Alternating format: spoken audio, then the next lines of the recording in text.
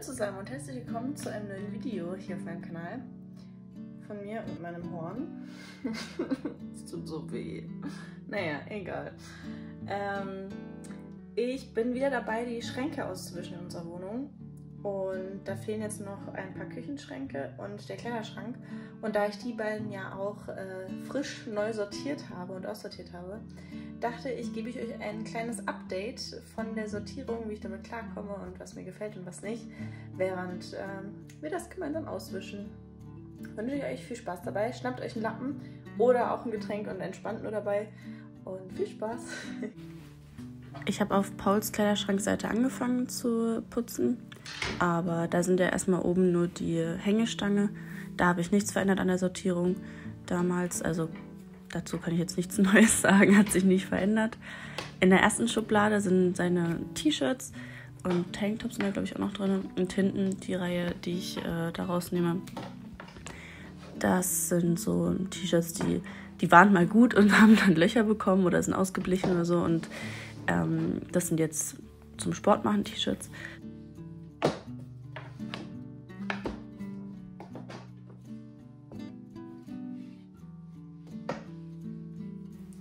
Damals habe ich da auch nichts an der Sortierung verändert, weil wenn alle gewaschen sind, dann sind die Reihen auch beide voll und da passt die Schublade perfekt.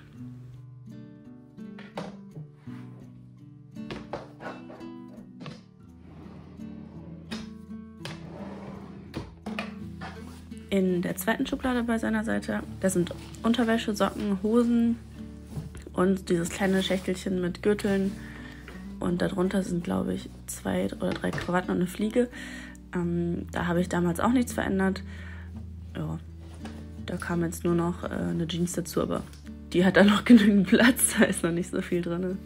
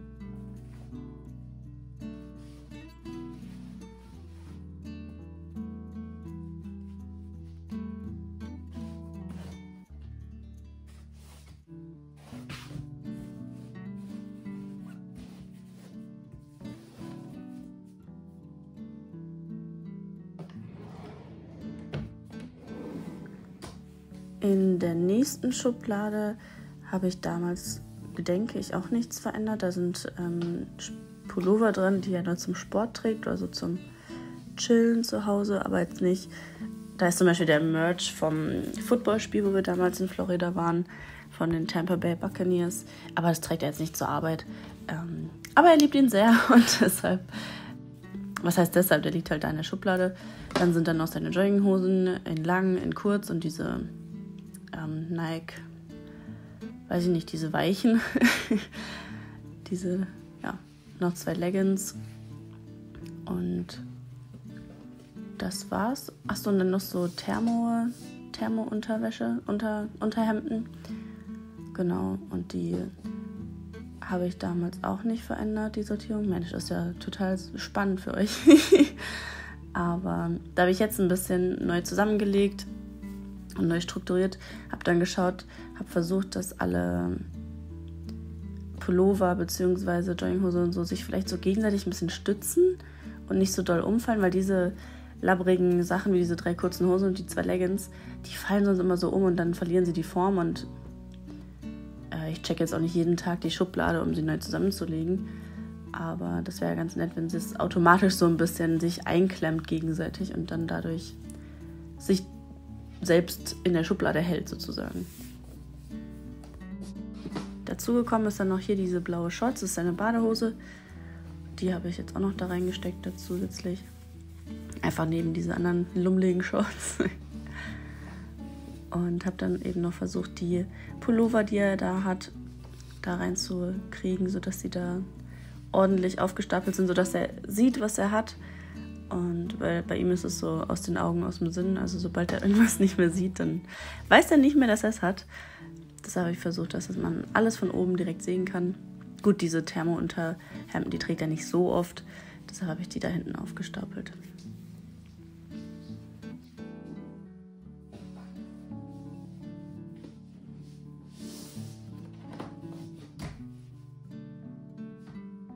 Da habe ich jetzt noch hin und her probiert, wie es am besten in die Schublade passt. Und so hat mir das ganz gut gefallen. So hat sich gegenseitig ganz gut eingequetscht und die Pullover. Gut, die müssen ja nicht gequetscht sein. Die können ja einfach so stehen. Aber ab hinten noch diesen durchsichtigen Bücherständer hingesteckt, damit die nicht umfallen.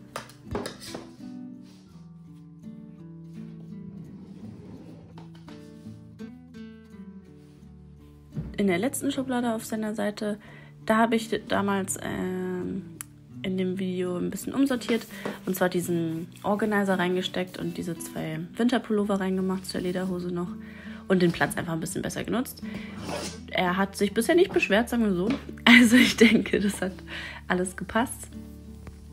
Werden wir sehen, wenn es dann ähm, wieder Skifahren geht, ob er gut rankommt an die Sachen und alles findet. Aber ich denke, so viel Zeug ist da ja nicht in der Schublade. Da wird er gar kein Problem damit haben.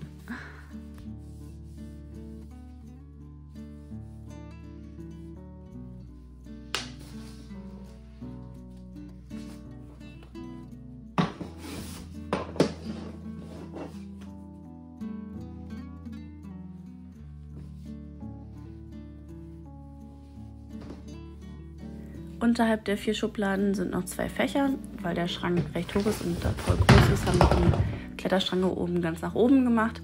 Und unten sind jetzt die zwei Regalböden. Bei mir ist genau andersrum, weil ich kleiner bin. ähm, da hätte ich jetzt zum Beispiel, das habe ich dann später bemerkt, hätte ich erst oben Staub wischen sollen und dann unten. Weil so habe ich von oben den Staub wieder unten reingebracht. Aber naja, auch noch den Staubsaugerroboter abgestaubt. Der war natürlich auch dreckig oder staubig.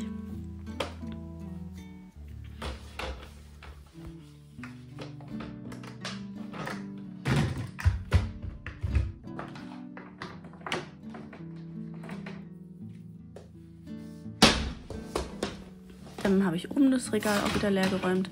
Da sind die ganzen Utensilien, also neben der Bettwäsche die ganzen Utensilien zum Staubsauger. Weiß nicht, ob diese Bürsten, also ich, wir benutzen nur die Universalbürste, aber ja, weiß ich nicht, ist irgendwie zu schade, die wegzuschmeißen. Gut, wir könnten sie versuchen zu verkaufen, diese, ich glaube, das sind ha Hartbodenbürsten, aber man weiß ja nie, wie die, andere, äh, wie die nächste Wohnung irgendwie aufgebaut ist, ob man die dann wieder braucht. Oder Parkett. Haben, das hier ist Laminat, deshalb brauchen wir die Parkettbürste nicht. Ja, und da sind auch die Akkus, ähm, die zu unserem Werkzeug passen. Das ist so ein Multifunktionswerkzeug. Auf meiner Kleiderschrankseite habe ich damals ein bisschen mehr sortiert.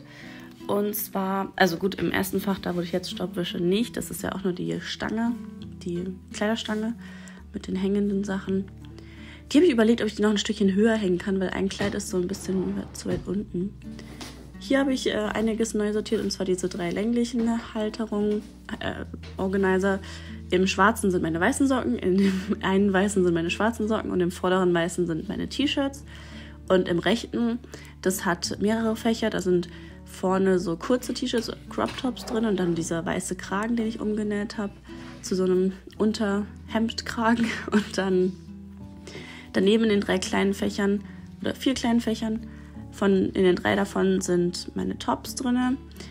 Und in dem hintersten ist ein Klebe-BH drin.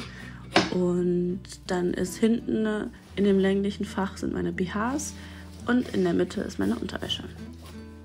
Und dieses Bambusteil ist zum Begrenzen, weil die Organizer sind ein Ticken zu schmal für die ganze Schublade. Deshalb habe ich da diesen Bambusstab ähm, reingespannt. In der nächsten Schublade habe ich auch ein bisschen umsortiert damals. Da sind vorne zwei äh, größere Organizer drin, wo meine Strickpullover drin sind. Also die das, die, das ist alles das gleiche Modell. Das Modell Bobby von Daria D. Unbezahlte Werbung hier. Aber äh, ich liebe die Pullover sehr, deshalb habe ich jetzt vier davon. Die sind vorne in diesen Dingern drin, weil die kippen so ein bisschen um, wenn ich die. Ich wasche die nicht jedes Mal nach dem Tragen, sondern lüfte die nur ein bisschen. Dann dahinter sind äh, die dickeren Pullover und ähm, zwei kurze Cardigans, ein Kaschmir-Pullover und zwei Kapuzenpullover. Die sind einfach ein bisschen voluminöser und die stehen besser. Und an der rechts von den beiden Organisern sind dann noch zwei Longsleeves. Das seht ihr dann gleich. Genau, da habe ich es ein bisschen nach Farbe sortiert hinten, die Pullover und Cardigans. Ja, und die Cardigans habe ich da hingelegt, weil das ist Baumwolle und ich möchte nicht, dass die auf den Bügeln irgendwie ausleiern, die Ärmel. Und mit der Sortierung bin ich auch sehr zufrieden. Genauso wie mit der ersten Schublade. Das mag ich sehr gerne. Vor allem da auch reinzugucken und einfach nur anzuschauen. Äh, das macht mich glücklich. Dritten Schublade habe ich hier dieses große Organizer-Teil mit den neuen Fächern, wo meine Hosen drin sind hauptsächlich. Und daneben sind noch Schwimmsachen und Sport-Zuhause-Pullover. Die meisten davon sind aussortiert von, von Paul. Und der eine, der graue, der, den er mir mal geschenkt hatte. Ja, und das Hosenfach, das mag ich auch sehr gerne. Äh, da das Skinny Jeans sind, ist es jetzt auch nicht äh, tragisch, wenn die da reinge ein bisschen gestopft sind, weil zerknittern tun die eh nicht. Die sind ja dann eng an meiner Haut wieder oder an meinem Körper. Mm, genau, die, das mit den Bikinis und Badeanzügen, das passt mir noch gut. Die Sortierung da. Und ja, also so lässt sich gut Ordnung halten, sagen wir so. Es macht Spaß, es immer wieder in die Fächer einzuräumen und ja, sieht auch noch schick aus. in meiner untersten Schublade sind Sportsachen, Skisachen und Skisachen drin. Fertig. Die habe ich ja auch neu sortiert in, in diesen zwei schmalen Organisern, die hinten links standen, also ganz oben. Da sind äh, Pullover drin und mein neues Paar Handschuhe. Rechts daneben ist knallorangene ist meine Skihose. Und vorne die schmalen Fächer-Organizer. Da sind in dem linken schmalen Teil meine ähm, kurze, mittelkurze und lange Sportleggings. Ähm, wie heißt sie? Nicht Unterhemd, Sport-BH. Meine Güte, was für Wortfindungsstörung. Sport-BH und hinten noch das Halstuch vom Skifahren und noch so eine Haube. Und im rechten sind äh, kurze Skiunterhemden, lange Skiunterhemden, eine Skiunterhose, Socken und das war's. Also und Socken. ja, und das gefällt mir sehr. Das ist, glaube ich, meine Lieblingsschublade, weil das alles so schön ordentlich aussieht. Da erfreue ich mich jeden Tag dran. Beziehungsweise manchmal gucke ich es auch. Manchmal mache ich es nur auf und schaue es mir an. Jetzt kommen wir zur Küche. Und hier habe ich in der Schublade damals so ein also da waren vorher, glaube ich, Töpfe und Pfannen drin, wenn ich mich noch recht entsinne. Da sind jetzt die ähm, ja, Kohlenhydrate, würde ich mal sagen. Also Müsli, Nudeln, Haferflocken, Nüsse, Öle. Und dann vorne in, die, in den Kästchen, die übereinander stehen, sind oben Zwiebeln und Knoblauch drin und mein Sprossenglas. Und unten drunter sind die salzigen Snacks. Und das gefällt mir auch sehr gut, die Kombination mit diesen gestapelten Dosen. Dadurch nutze ich die Höhe sehr gut. Und mittlerweile macht man auch nicht mehr die Schublade auf und also macht man nicht mehr die, wenn man, wenn ich die Nudeln suche, die alte Schublade von den Nudeln auf, sondern die richtige. Und das klappt mittlerweile gut. Mein Mann hat sich auch zurechtgefunden. Und ich finde es echt gut und ich glaube, er hat mir auch schon mal gesagt, dass er es gut findet.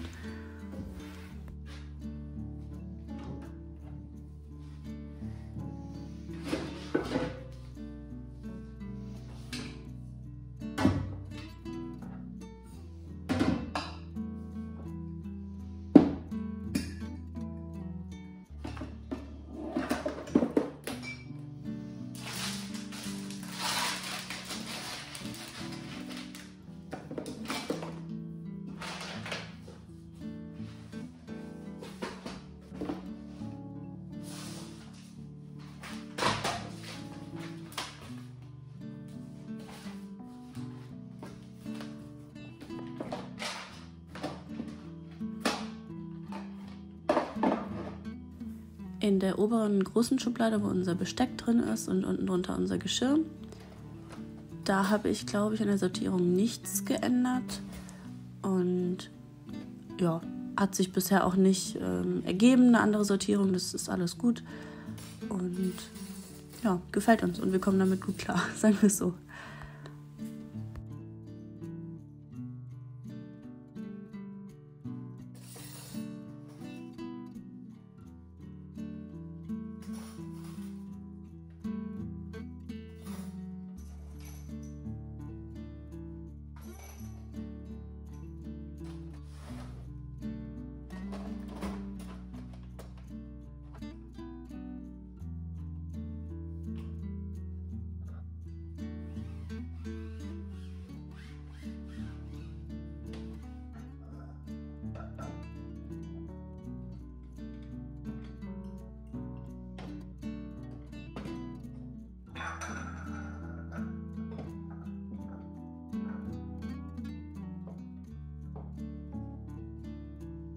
In der Schublade darunter haben wir jetzt unsere Töpfe, Pfannen, Mixer, Kaffee und Tee und unsere Trinkflaschen, wenn wir die am Wochenende nicht benutzen, stehen die auch in der Schublade.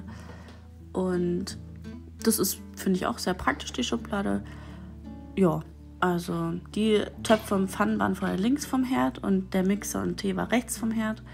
Jetzt ist das alles in einer Schublade und gefühlt ist da immer noch Platz drin. Also, ah, da liegen jetzt auch gerade in dem Sieb in der, also auf den, ich mit zwei Pfannen und oben drauf sind noch so Schüsseln und da drauf ist ein Sieb und da drinnen, dieser Beutel, da sind Kartoffeln drin. Aber das ist auch nur gerade, weil wir die ähm, noch ver verarbeiten sollten, bevor die anfangen zu keimen. Aber so gefällt uns die Schublade auch sehr gut. Und mein Mann findet sich auch mittlerweile gut zurecht. Ah, das habe ich ja, glaube ich, schon erwähnt.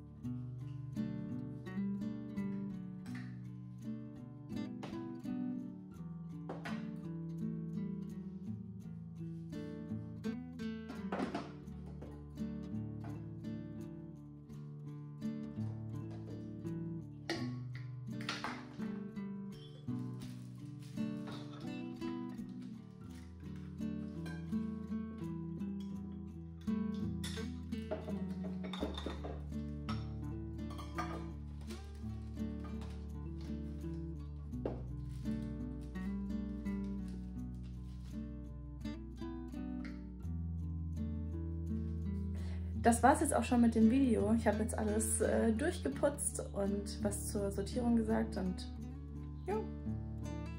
Ein kleines, feines äh, Putz- bzw. Sortiervideo. Naja, ich habe ja nicht sortiert, aber ich habe darüber geredet. Mindestens genauso gut. Bis zum nächsten Mal. Ciao.